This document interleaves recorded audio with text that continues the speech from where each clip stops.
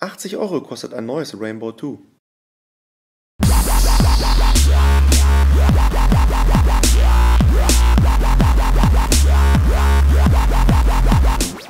Dass Kubot Smartphones bauen kann, habe ich schon in meinem letzten Review gezeigt. Das Rainbow 2 von Kubot ist simpel, aber stylisch verpackt. Auf Teilen der Verpackung sind erste Hinweise abgedruckt. Zusätzlich liegen noch ein paar Drucksachen dabei. Das Ladekabel mit Micro-USB und ein Steckdosenadapter.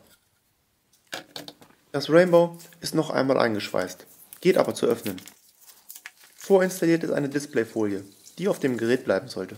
Zusätzlich ist ein klarer TPU-Bumper um das Handy. Trotz seiner Dicke stört er nicht beim Bedienen. Für andere Smartphones kostet sowas um die 7 Euro. Schön, wenn es schon hier dabei ist. Ich habe mich für ein blaues entschieden. Es gibt aber zusätzlich die Farben weiß, gold, rot und schwarz. Von der Verarbeitung her ist es hochklassig. Gute Druckpunkte der Taster und kein Klappern. Oder irgendein Grad. Oder irgendwas, was man bei 80 Euro erwarten würde. Nein, alles passt. So wie bei Geräten, die zehnmal so teuer sind. Zum Öffnen fängt man in einer der Ecken an die eine Freimachung hat und nicht am USB-Eingang. Der Akku ist fest verbaut und mit 2350 mAh groß genug, um über den Tag zu kommen. Zwei SIM-Slots, beide Micro-SIMs und ein Micro-SD-Kartenslot zur Speichererweiterung finden sich im Gerät. Also boote ich mal das Android 7 Gerät, dessen erste Konfiguration absolut leicht geht.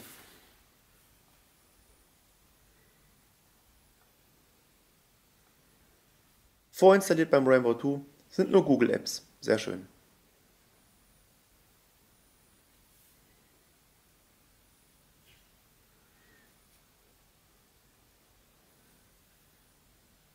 Ansonsten halt ein Android 7 Betriebssystem. Aber was ist das? Gleich beim ersten Start will das Gerät eine Firmware-Update haben. Updates, das ist gerade in der Android-Welt selten und werden von vielen Herstellern nicht angeboten. Qbot zeigt auch hier Oberklassenniveau. Hier zum Größenvergleich das bekannte iPhone 6s, Rainbow 2 und Note S. Mit seinem 5 Zoll ist es sehr angenehm zu bedienen und in der Hosentasche zu tragen. Verbaut als Hauptkamera ein Dual-Kamerasystem, welches überragende Fotos macht. Selbst zum digitalen Zoomen lassen die Fotos mit einer Auflösung von 13 plus 2 Megapixel Luft. Gegenüber dem iPhone 6s kann ich ohne EXIF-Daten nicht sagen, wer welches Foto gemacht hat. Die Videoaufnahmen sind auch erstklassig und wurden von mir im Review der Blaupunkt-Navigation genutzt.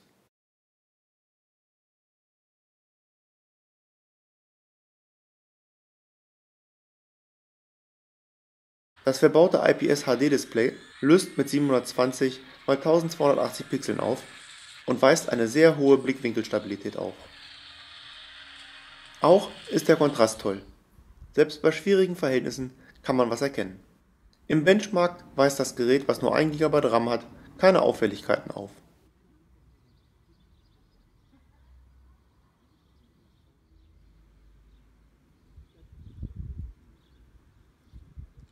Und selbst Modern Combat 5, hier gespielt mit dem Gameseer G3S Controller, läuft flüssig.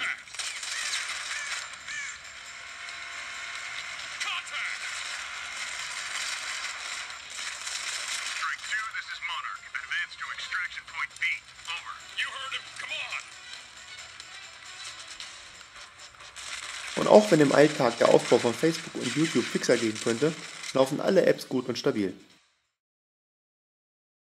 Die genauen Spezifikationen steht in der Videobeschreibung.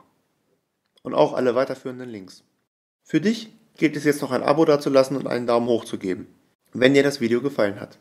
Denn nur so kann ich weitere solcher Videos machen. Für mich bleibt das Fazit. Mit dem Rainbow 2 und dem Note S hat Qbot zwei Geräte um die 80 Euro im Markt. Das eine ein FatLab mit Power für eine Woche, jedoch einer schlechten Kamera. Das andere mit einer Tagesladung und weniger RAM. Dafür einer erstklassigen Kamera. Meckern kann ich an beiden nicht, da Preis-Leistung überragend ist